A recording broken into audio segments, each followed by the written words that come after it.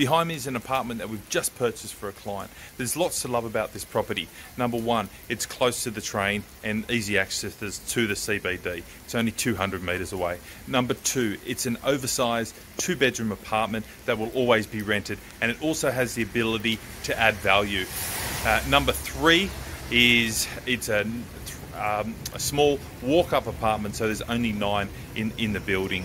So you're looking for your next investment property, please let me know. I'd be happy to help. For more information, call us or visit our website